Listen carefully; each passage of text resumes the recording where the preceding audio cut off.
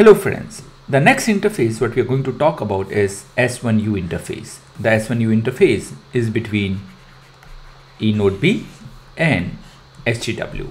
This S1U interface runs with a protocol called as GTP and GPT, GTP if you remember is the protocol which is called as GPRS tunneling protocol. So this GTP is in existence from the days of GPRS and it typically it typically uses some kind of tunneling mechanism to forward the packet between eNodeB and SGW.